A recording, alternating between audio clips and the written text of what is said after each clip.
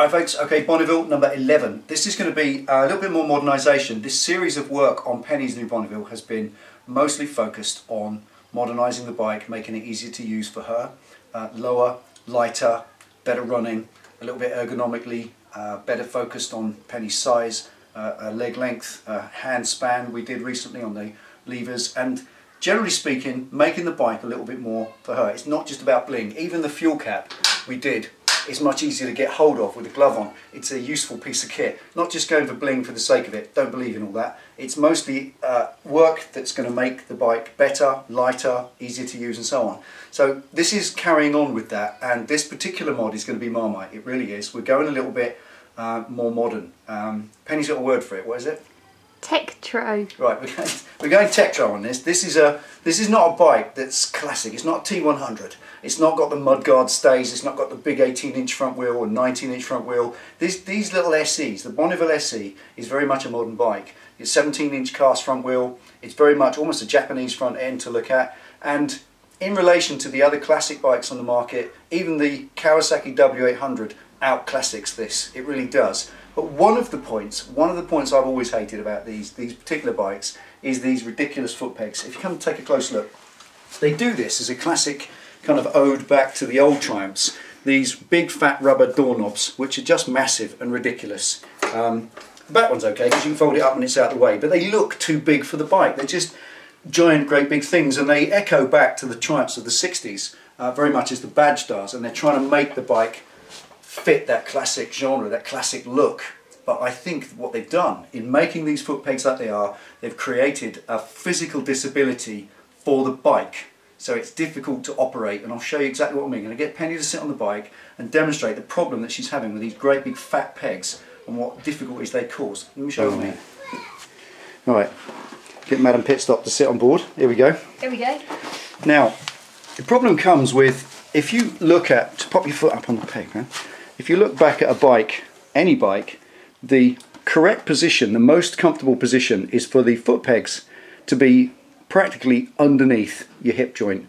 So you've got hip joint in there, the foot peg needs to be virtually dead underneath. And that's correct. Now then, for riding, that gives you this lovely kind of slightly Z position. If you had a Harley Davidson, you get the mid pegs on a Harley, they're more forward, more like this, that's kind of where the foot peg is on a Harley. You get this L-shaped position, which is great, but on these, they're slightly further back in there. Put in the asset.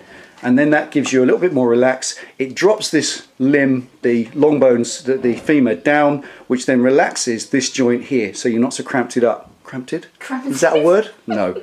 It's a devil's word, shut up. So the, the hip joint should be right above the foot peg for the best most comfortable, relaxed riding. But this presents a problem because when you put your foot down on the floor, the foot peg is then right under your hip joint where we know it to be.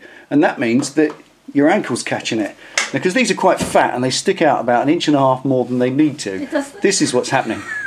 Jeans get caught on it. I'm sure loads of you are, are nodding already watching this. You get this problem where in front is too far forward, behind is too far back, because if your legs aren't longer. Penny's only five foot six, so that's where her feet fall, and she can't. Where her foot needs to be, if I fold that up, is there. There. That's where your foot needs to be. That's the natural position for it to fall. But if you lift your leg out of the way, bang. That's exactly where the foot peg is. It's in your way. So there is a way around this. There's a way to deal with it because obviously the fact that they're rubber catches your jeans. It catches leathers even more. Even boots, even your standard bike boots, it catches the tops. You put your foot on the floor. You get your foot on the floor, you get your boots that come up to here, you go to put your foot up, and this goes in the top of your boot. So they become an absolute pain in the ass. So here's a remedy for you. Stick around, stay tuned, we'll show you what we're to do. So the problem we've got in front of us is this big fat rubber peg. It's too far out by about an inch. It needs to come in about an inch to make a little bit more of a space for the leg to move around. And it's too fat. And obviously it's rubber. The end of it is all rubber anyway. I've seen people trim the ends off these. You can actually just get your lap disc, cut the end off about three quarters of an inch and then just with the flat disc just round the end. But it's still rubber. And as it's still rubber, it's still going to catch on your jeans and your levers and have this problem that you can often have if you've got shorter legs. This is an issue. So this is the remedy that we think is going to work. These pegs they're very much form over function, you know the old phrase, where they're designed to look great and to look classic, but actually they're shit to try and operate on the bike. They're awful. So what I'm going to use is these. You've all seen these. No, everyone's gasping. Oh my god. Going for possibly the click button to dislike already, but they are the Oberon race pegs. Now they're not expensive. A pair of these is £40 and I don't think there is a better product or a better quality aftermarket bolt-on part than the likes of Oberon and Rizoma. Uh, both of them are the highest quality machined billet. They're not to be confused with some of the Chinese copies, but these are the best. They simply are. And yes, they're very tiny. They won't look in place on the bike, but ergonomically they will work for penny. They're probably a lot shorter. They work out, if I show you roughly where this is, looking at it on the bike, it's going to bolt into there. So you can see that they're an inch shorter and because they're metal, that's just a billet alloy. There's no grabbiness because it's not soft rubber. So that's going to help as well. And they're thinner, which is going to give a little bit more usability than these big fat rubber doorknobs. So today's little mission is to fit them. I'm going to put them on the back as well as the front so they match because obviously you don't want big door handles on the back and these little things on the front. look a bit imbalanced. So the first thing is to show you how they come. They come to you like that in a box from Oberon and you'll open up the box and you just get an assortment of little Allen keys, some fasteners and you get your fitting knuckles on the back, these little clevis knuckles which are there. Now there's only one here because I've actually done the other side of the bike already uh, and I did that just to get it out of the way. So those are for the scrambler later on. Now, um, let's put that there. Now this is the best, all I'm to suggest is this is how to fit one together so you can see what I mean. Um, that's the front one. The front one is no, you can tell it's the front one because it doesn't have the little ball bearing recess in it. The rear ones have a little recess for the ball bearing and that ball bearing holds them in place. I'll show you how to fit that in a minute. Ever so simple to fit and this has a little spring latch which we're going to fit in place just now. So before we do anything with it I've got to fit it together. You get a bolt, the peg and that. They come in different colours. We're going to use black obviously but you can get any colour you like. Um, clear anodized or black to me has got to be it. I don't really like this business of the sports bikes. Well, you see them in sports bikes sometimes and they're bright red or gold or whatever. No, gold would have been rubbish, wouldn't it? Hmm. No, black it is. They look good. Now, the simple way that these fit together is there's uh, a hole down in there. The bolt drops in, pokes out the bottom, then that bolts in there like that. It's as simple as that. Now this little post on the bottom is the stop. So that's at the bottom. That's what recesses down into the actual clamp and it stops it from going any further. So that's got to go at the bottom. And when you fit the thing, obviously you've got to fit it, or even that way around, you've got to fit it so that this is angled at the correct angle because on this bike, when pegs lift up, they don't lift straight up, rear pegs lift straight up, but front pegs, in order that they don't catch the ground, they lift slightly backwards so that if you touch them on the ground when you lean the bike right over then they lift backwards out the way so you have to rotate that so it's at the correct angle. I'll show you how to do it in a minute. First of all we'll put them together. You know the drill folks, a bit of Loctite, always Loctite. This is a stainless steel um, Allen bolt of the best quality. Come on, running out of. God, need some new Loctite. There we are. Just a little bit. Drop that through the hole. It's quite a big hole, quite a lot of or I'll put some more on, shall I? Moron? you call it a moron. There we go. Drop that in through the hole there. Poking out underneath. And just screw it on. Straightforward job. And that screws up inside. Now don't screw it up tight yet because you don't know which angle it's going to go at. So before we do anything else, I'm going to take that one off. And this is how it goes. Right, now these are ever so simple to get off. They've got on the back there, do you want to get a torch? Ah. On the back of there, there's one of these wonderful little C-clip nuts, there you go, or washers should I say. It's not a circlip. You bring it around so you can get a screwdriver through it and just lift it off. Lever against it and off it comes. Simple as that. And then that pushes out. Now I've always said with these things, just take a look. Visually regard the scene. Look at what you're looking at. You've got this little arm that clips over the back there, and you've got, that's the other side of the spring, and it pokes into a hole in the clamp. So just let, take the clip, the, the cotter pin itself out and then remove that. Just hold that there for a minute. Just hold it there. And before you let that all drop on the floor in a heap, just regard it, just look at it, observe, see how that goes in so you can see how to put it back together. And when we get the new one, stay there, get the new one, that's exactly how the new one's going to go in, just like that. So we do that first, but because we've got to set it, hold that there. I'm just going to put that on its side a minute. It's still loose. Now I'm going to use a little bit of soft copper slip. Just clean the copper pin off. And you just want a very thin film of copper slip on that, not much, because it's just going to push it out. It's a nice tight fit, especially in the new uh, clevis that you're putting in.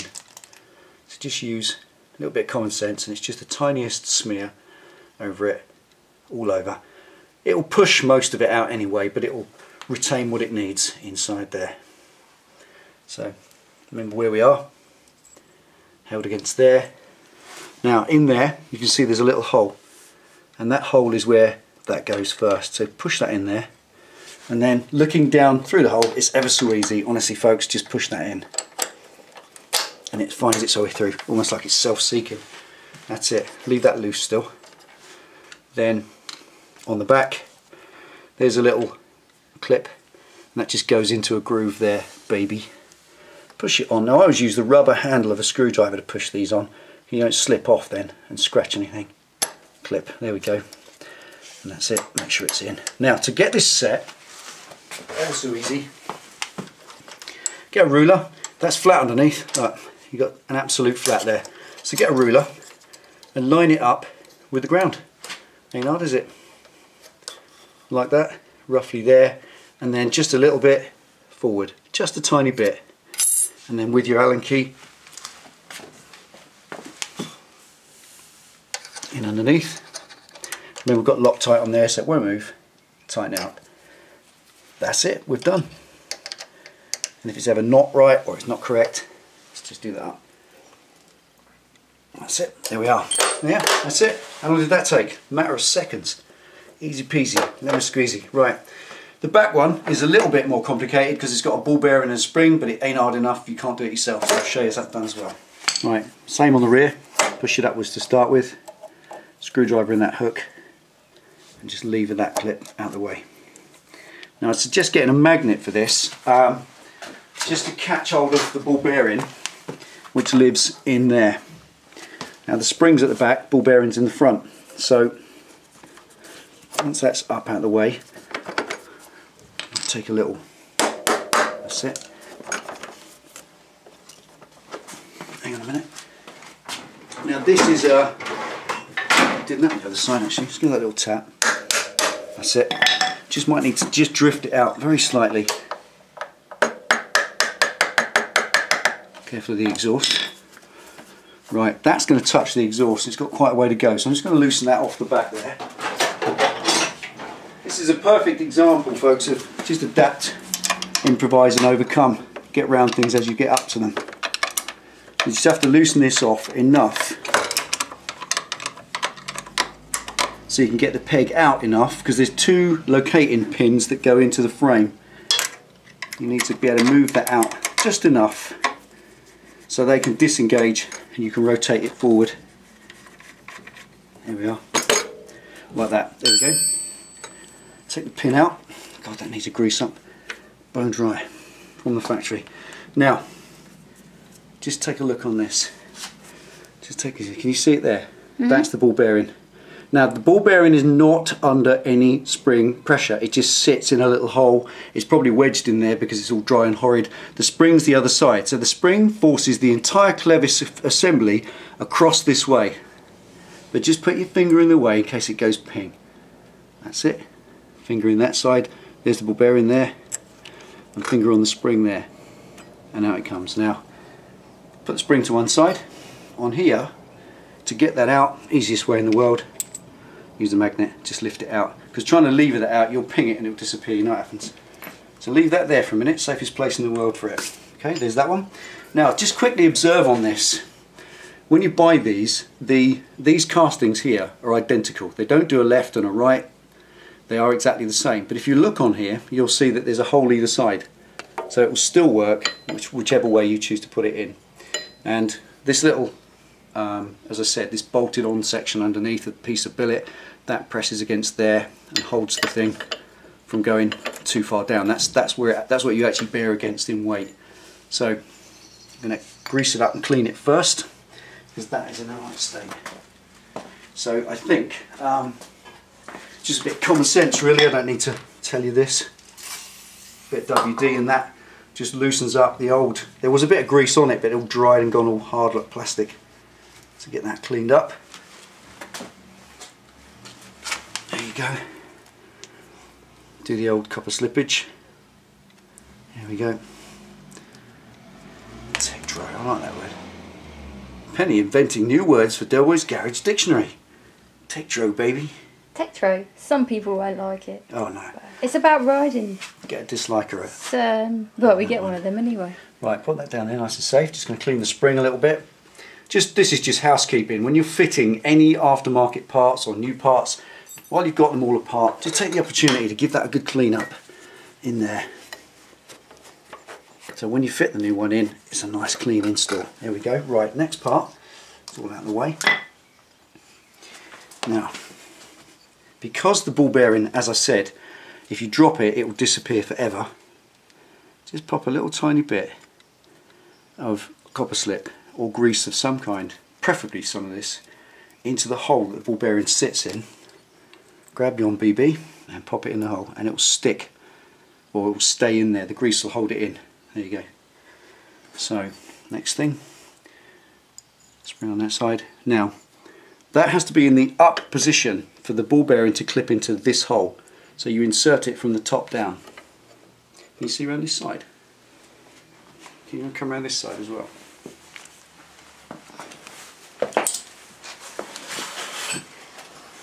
and that goes down in that side. There's the hole it goes in. And put pop it in there first and then on this side put the spring into place second. So you can squeeze the spring in and that will push that across into its hole and that's where the grease on the back of that ball bearing comes into its own. It will stop it lifting off and you'll feel it just snap into its little recess. There it is and then once it's all holding fast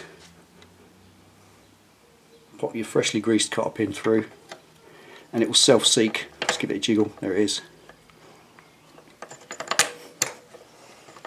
That's it.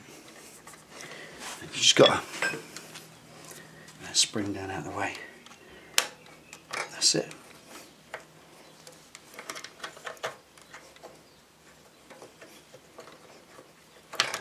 there it is all the way through. And just wipe off the excess. Now before you put the clip pin in just make sure you can see that operating correctly. You can see as it comes up it pops into that hole there. Nice okay. So we just need the last little job put the clip in place that way around. And again rubber handled screwdriver grabs the back of that and just snap it on without any damage to anything. And there we are. Push that back into its little seat and tighten it back up to its correct 18 newton meters. Although you won't get a socket on the back to measure that, so just do it FT because it is a foot peg. Right, so there we are. okay, they may not look the part. They may look wrong for a classic looking bike, but then we wouldn't have piggyback shocks, a two into one, and 17 inch wheel on the front cast alloy anyway. It's not a classic bike. It's a Triumph Bonneville of 2014. This is what it's about. More modern technology. And if Triumph had kept making these bikes back from the early days, the original uh, Meriden bikes, then this is possibly where they would have advanced to by now. So it's not about like, making it look classic. It's about ergonomic usability. Did you like that phrase? Hmm. I had to look that up. Usage. Usage. Ergon ergonomic usability edge. Right, let's let's sit on it and mm -hmm. see how much more usability it is, shall we?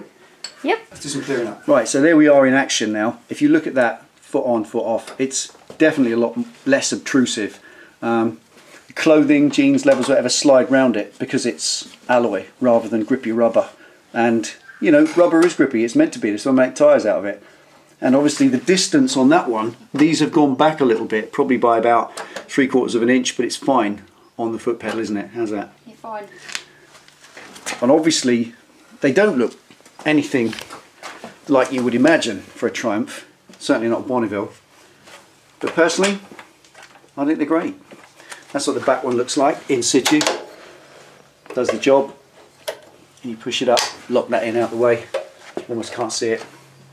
Now there is a point here which I just want to mention. Obviously, when you've looked, I'll just grab this one. Now, or even the right, correct one. There we are. Now you can see the kind of swan neck on this, this kind of one inch offset. And when you look at the the new ones, they're not offset at all. They're completely straight. So that one uh, would have gone forward, as you can see, by about that much. And this one doesn't. So what it means is that these are probably three quarters of an inch further aft along the bike. And that means the gap between here, just put your foot off, babe.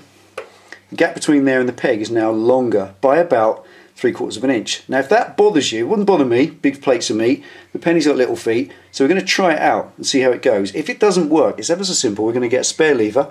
I've seen these on eBay for 15, 20 quid, it's not expensive. And this, fortunately, as you can see there, is bolted through. And if you feel on the back, there's an Allen bolt.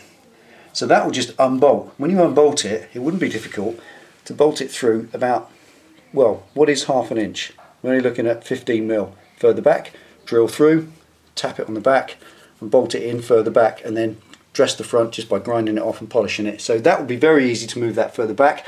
You wouldn't have an issue with leverage because it's a nice easy smooth gear action anyway so that wouldn't be a problem. So there we are. What do you reckon Pen? Much easier to ride. Much Bit easier? Gonna mm-hmm. be easy to touch the ground. All about making it easier to ride folks. Take it easy, ride safe. See you next time.